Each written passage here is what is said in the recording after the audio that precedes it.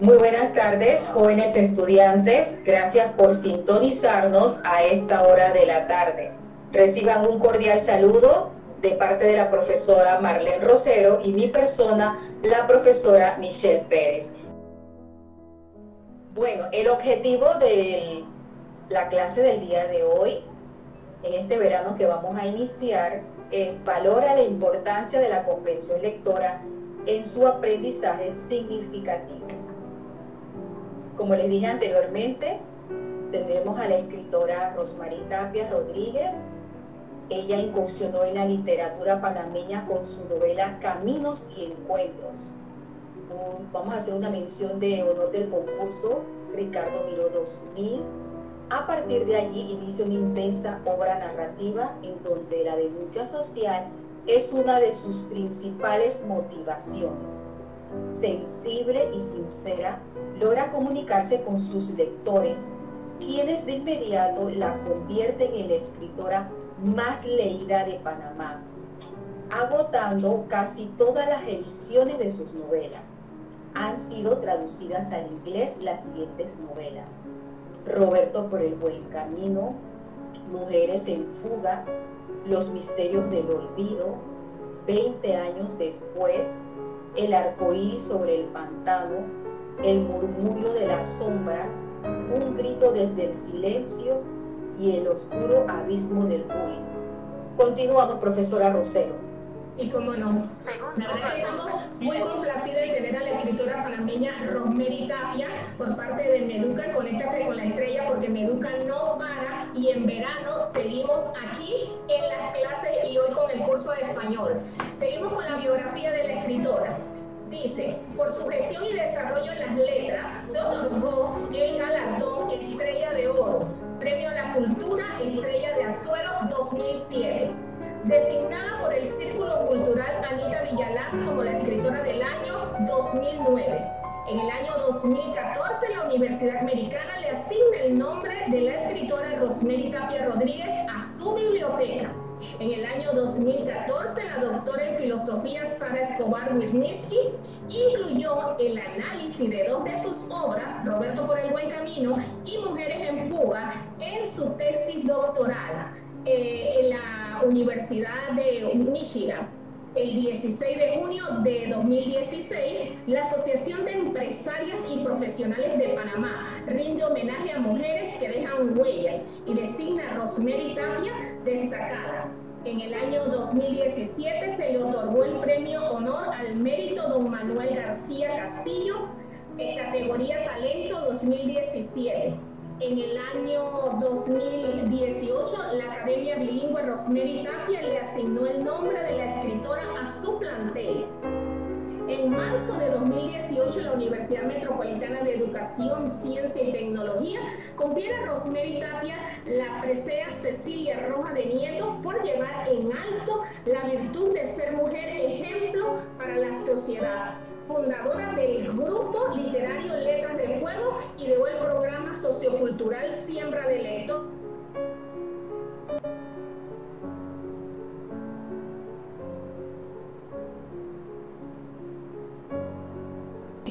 más leídas por los jóvenes en los colegios. Así que eh, la verdad que es un placer tener a la escritora panameña Rosemary Tapia. ¿Cómo se siente la escritora Rosemary Tapia de estar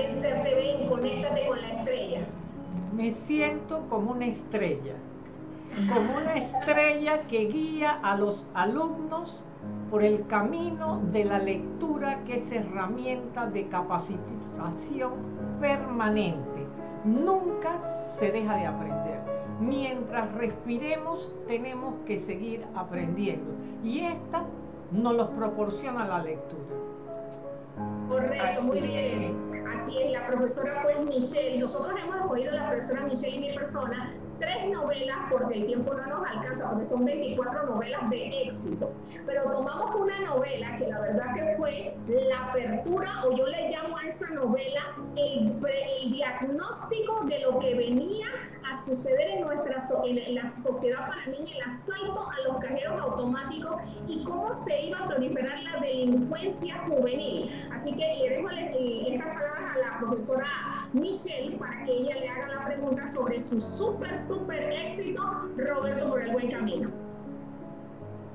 Bien, la pregunta de la novela Roberto por el buen camino es, ¿tiene algún testimonio usted que recuerde de cómo esta novela ha influido en la delincuencia juvenil? Yo voy a hacer una breve reseña. Roberto por el buen camino sale en el 2004, yo publiqué en el 2001 mi primera novela, pero Roberto fue esa novela que abre las puertas anchas de la literatura y la que hace que los jóvenes me conozcan, porque en cierta forma fue profética, se adelantó y dijo, este es un peligro. Entonces la influencia, yo diría que un testimonio aquí, otro acá, pero el mayor, el más significativo, fueron los jóvenes que en el 2004 estaban en el centro de cumplimiento. Yo conseguí permiso para que fueran a la presentación. Uno de ellos presentó la novela y a partir de ahí se incorporan al círculo de lectura Guillermo Andreve, coordinado por el profesor Ricardo Arturo Ríos Torre, y esos jóvenes están 14 meses con nosotros reunidos, todos los meses. De esos 17 jóvenes que fueron a la presentación, 16 no regresaron a prisión. Salieron dos o tres años después, en el 2007, y se han mantenido todos estos años por el buen camino. También tuve un chico que él había acababa de entrar en una pandilla y él le dijo al jefe de la pandilla, yo no quiero la suerte de Tuti. Yo me salgo de la pandilla porque yo todavía no he cometido un delito grave. Y él le dijo, ¿por qué? Dice, por esta novela. El jefe de la pandilla le dice, ¿tú sabes por qué la perdono? Porque ella hace que quieran a Tuti. Ella da otra mirada hacia el delincuente, la mirada humana. Paga tu deuda con la sociedad, pero aquí está mi mano para que te incorpores a una vida decente. Gracias. Sí, esa novela, gracias Rosemary, la verdad que esa novela, en esa parte social, tiene tantos, tantos, mensajes para la juventud, tantas situaciones que se han dado, porque yo digo, ya pronosticó lo que, lo que se venía, lo que estamos viviendo, 20 años, y esto ha sido una delincuencia, delincuencia, pero cuando nosotros leemos Roberto, nosotros llegamos a esa reflexión, que nosotros no podemos ser ese pueblo castigador, sino que tenemos que ver la parte de Roberto por el buen camino. Esa, esas personas que ayudaron al que había matado, y al que había herido, al que había que casi destruye a buscarlos, pero nosotros tenemos que vernos en ese, en ese espejo y perdonar. Todas las novelas de Rosemary al final llegan a una reflexión y la verdad que por eso es que Roberto es una de las novelas más vendidas, más leídas y todavía la gente no lo puede creer y dice, wow, Rosemary, Roberto por el buen camino. De una vez la identifican con Roberto por el buen camino. Bien, muchas gracias Rosemary. No sé si Michelle quiere aportar algo más de Roberto. Bueno, muy interesante la novela, Roberto por el buen camino, como lo dijo la escritora. Y qué bueno que esta novela haya cambiado la mentalidad de muchos jóvenes y que los haya hecho desviarse de ese camino que no los conduce a ningún lado. Muy interesante su aporte. Hay algo bien importante en esta novela. No solo hace cambiar la mentalidad de los jóvenes, sino de los adultos que buscan venganza. En la novela recuerden la parte para mí más importante es cuando María Cristina va a cobrar venganza. Dice, lo que más quiere es a su hermano y a su mamá, ahora van a ver lo que yo hago. Pero sale un niño de seis años, desnudo para simbolizar la indefensión. Y ella se da cuenta la atrocidad que iba a cometer. Entonces ella regresa a la otra orilla. Dice, ¿Qué puedo hacer yo? Los niños nacen buenos, el entorno los corrompe. Entonces ella comienza a ayudar a ese niño para que no caiga en las garras de las pandillas y la delincuencia. Hay un saludo para Rosemary, mire, el productor de CERTV dice, un placer escucharla, me gusta su novela y sobre todo Roberto por el buen camino, así que saludo Rosemary de parte de uno de los productores de CERTV que está aquí escuchando. Bueno, pero la verdad, sí, la verdad que sí, Roberto por el buen camino nos trae muchos, pero muchos recuerdos y se puede hacer tantos análisis de esa novela que es algo increíble, increíble, increíble. La verdad que Rosemary felicidades por ese, esa super novela y ese, esa, esa acogida que ha tenido pues con la juventud panameña y no solamente con la juventud, con todos los lectores en Panamá. Y también quiero decir que Rosemary es una de las escritoras que sus novelas están a un excelente precio en Casa Saldo Gran Morrison. Bien, después que han pasado, imagínense, 20 años, la escritora Rosemary Tapia nos sorprende con la segunda parte de Roberto por el buen camino. ¿Qué la llevó a usted a escribir la segunda parte de Roberto por el buen camino? En todas las ferias los estudiantes me decían, usted continúa las novelas políticas, usted continúa el testimonio sobre negligencia médica, ¿por qué no la continuación a su novela más importante? Y entonces yo decía, no sé, de repente la doctora Sara Escobar cuando hace la tesis dice, los correctores en Estados Unidos de la tesis quedaron encantados con la novela, ¿por qué no la continúa? Digo yo, me la han pedido, dice, esa es la hora. Entonces yo cumplía mis 20 años como escritora. No es 20 años después, Roberto, sino mis 20 años. Y qué mejor manera de celebrar esos 20 años de carrera literaria con la continuación de Roberto por el buen camino. Por eso se llama 20 años después. Todo lo que pasa en la fundación 20 años después. Si quiero hacerle esta pregunta. Aquí está el, licenciado José Leis dice que debe ser obligatoria en todos los niveles. Bueno, Rosemary Meduca tiene la página donde están las novelas clasificadas por nivel y Roberto eh, está clasificado como una novela desde séptimo hasta duodécimo. Inclusive, eh, creo que para primaria también está Roberto, porque tiene un lenguaje sencillo y, la moral es la enseñanza, lo que los chicos aprenden. Aquí yo tengo una pregunta, Rosemary. Eh, sobre la novela presentan varios personajes conectados en el conjunto de la novela y todos con la misma importancia y protagonismo. ¿Cuál personaje logra mayor relevancia en la novela 20 años después? Mami, la mamá de Roberto, de Tuti. ¿Por qué? porque mami se reinventa. Era una mujer que no había terminado la secundaria, apenas la había empezado. Termina la secundaria, se va a la universidad, se gradúa en trabajo social y es la mano derecha de María Cristina. Por otra parte, le pasan toda clase de adversidades. Pierde a dos hijas más.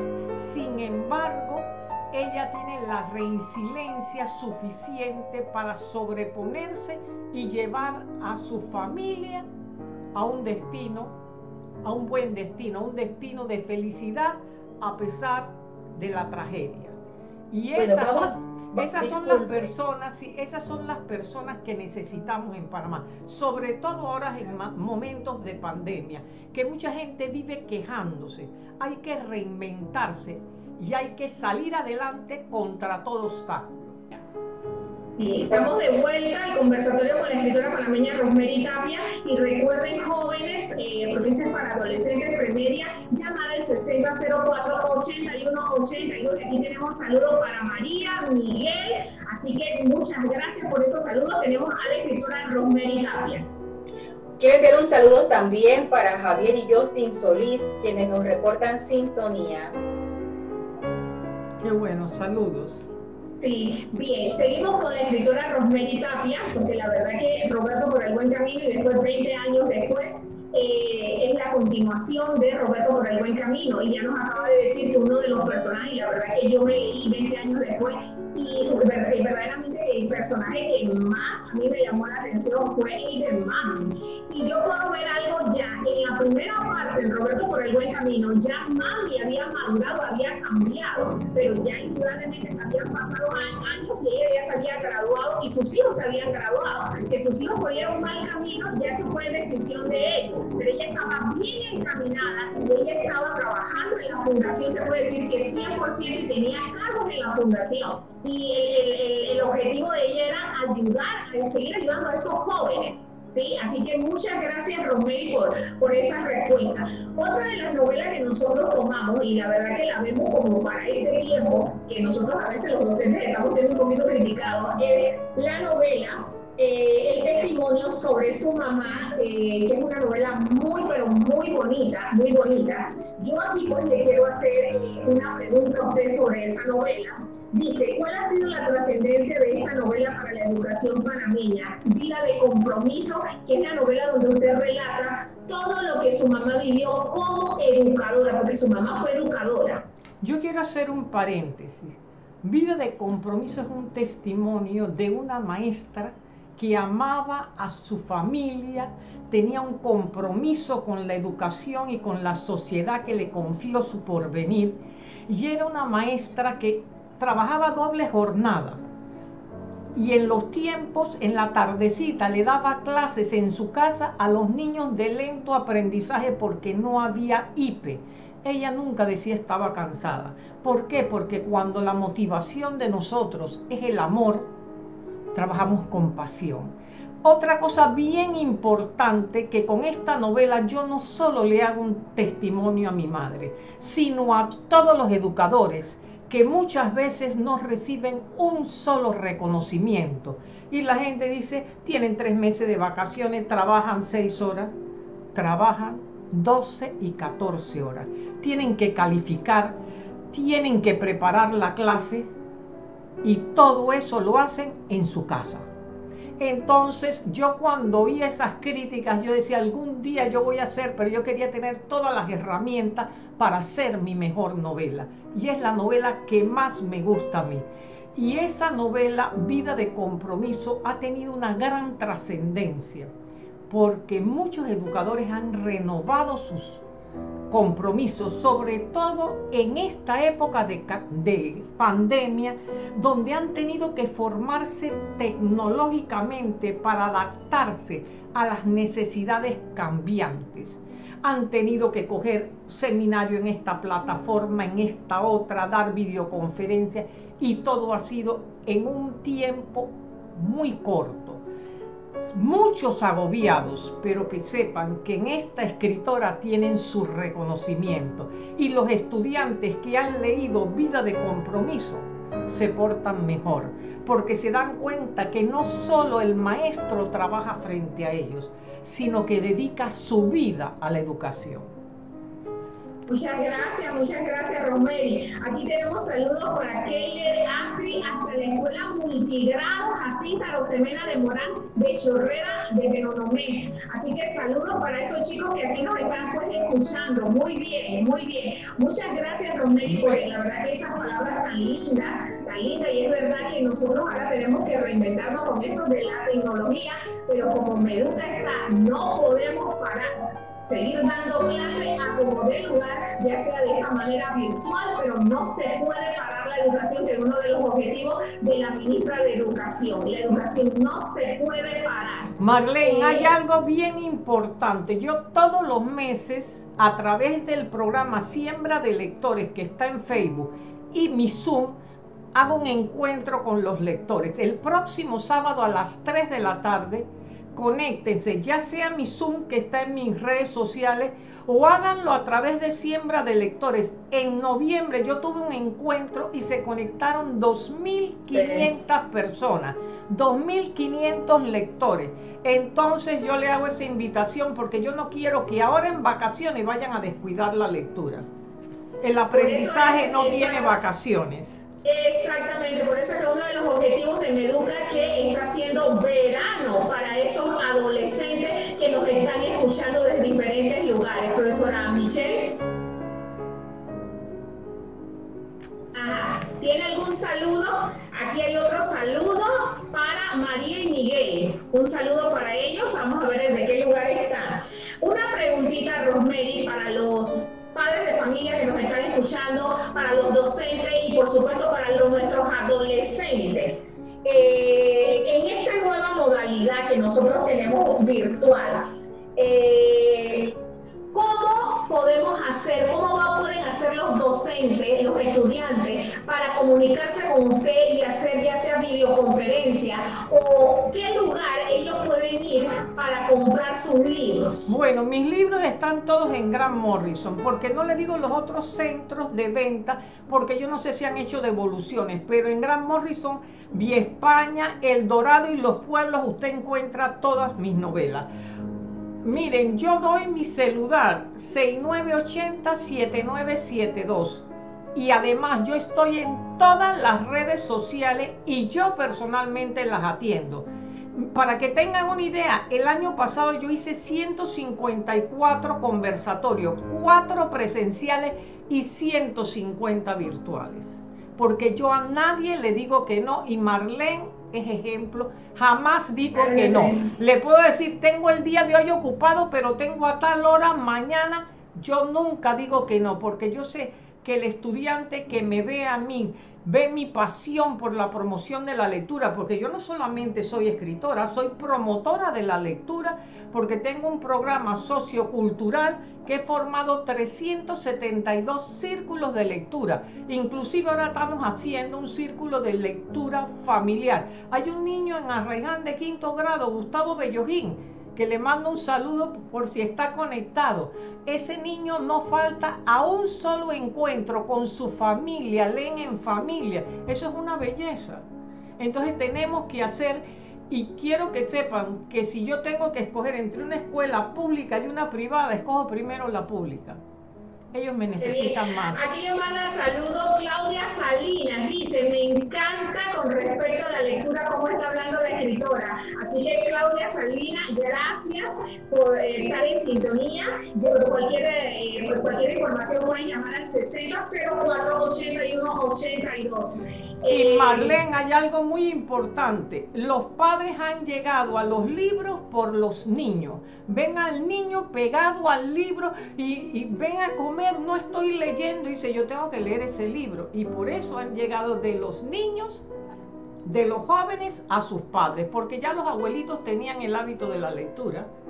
Entonces, eso que toda la familia lee, en estos momentos donde estamos tan preocupados, donde nos angustiamos, hagamos ese impas y entremos al universo. Rosemary, aquí hay una pregunta del profesor Arcelio Pérez. Eh, eh, dice, ¿por qué la lectura en las escuelas la limitado a las asignaturas de español? Me gustaría saber su opinión. Arcelio Pérez, profesor. Bueno, yo le tengo una noticia al profesor. Una vez en un colegio de Tocume, una profesora de matemática, la mitad era el examen de matemática y la otra mitad Roberto por el buen camino fue como todo una sorpresa para todo el mundo. Y ella demostró que después de leer Roberto por el buen camino, los niños se aplicaron en las matemáticas y fue el mes que mejor calificaciones sacaron en matemáticas. Profesores de ciencias sociales que mandan mis novelas. Las novelas políticas las mandan los profesores de filosofía. Así que eso ya está cambiando. Y va a cambiar mucho más a partir de ahora. Pero muy buena observación del profesor. Osmerio, usted que le gusta trabajar eh, bastante lo que es la virtualidad. Aquí me están inscribiendo desde Cerro Casa en Las Palmas de Veraguas. Así que yo sí quisiera que le mandara un saludo especial porque aquí se conecta bastante gente de la capital, pero más se conecta gente del interior y están aquí escribiendo y están bastante pues motivados con lo que es la lectura. Díganle que donde hay internet, ahí puedo llegar yo. Y si no, entonces llegamos a través de WhatsApp, de lo que ellos quieran pero la escritora la van a tener siempre cerquita de ustedes. Yo le decía a los muchachos, estoy a la distancia de un clic. Mi salud es muy frágil y a veces me dicen que de Penonomé son tres horas para la montaña. No puedo porque si allá tengo un cambio en mi salud, tengo un síncope, ¿cómo hacen para traerme por un hospital en Panamá? Pero ya no hay esa dificultad. Yo le he enseñado mucho, a muchas profesoras a usar la tecnología. Yo me acuerdo que antes de la pandemia me decían la tecnológica, pero gracias a eso aprendieron y cuando vino este choque no fue para ellos tan tan significativo, porque ya manejaban Skype y Zoom es parecido a Skype. Entonces ya se dan cuenta de que esta es una herramienta, entonces esto queda grabado y yo lo pongo en las redes sociales. Entonces los muchachos se ven cuando ellos participan y le encanta. Y Rosemary, este, quería pues eh, eh, la profesora Michelle. Profesora Michelle. Sí, muy importante el aporte de la, de la escritora Rosemary y sobre todo incentivar a estos jóvenes, a los jóvenes del día, actuales, a que se motiven por la lectura, porque un lector competente cuando lee aprende algo nuevo, tal vez confirma lo que ya sabía y de esa manera va a ampliar sus conocimientos y eso es lo que se quiere de los chicos de hoy en día, que se motiven a leer, que practiquen el hábito de la lectura, porque cuanto más competente se es en la lectura, mayor probabilidad tiene la persona de integrarse y ser miembro activo de la sociedad. Y, aquí traigo, eh, eh, señalo lo que es la, novela Roberto por el buen camino. Los chicos se interesan en el contenido de la novela y esta novela les puede hacer cambiar sus vidas porque van a obtener nuevos conocimientos, se van a adentrar en ese mundo de cambios. Muy interesante. La Profesora, yo quería hacer una acotación. Los primeros 10 años yo estuve en escuela secundaria, pero una profesora de Arraiján me dijo, yo le estoy mandando desde primaria, quinto grado. Y yo dije, voy a primaria. Comencé con Niña Bella, Los Ángeles del Olvido, también Roberto.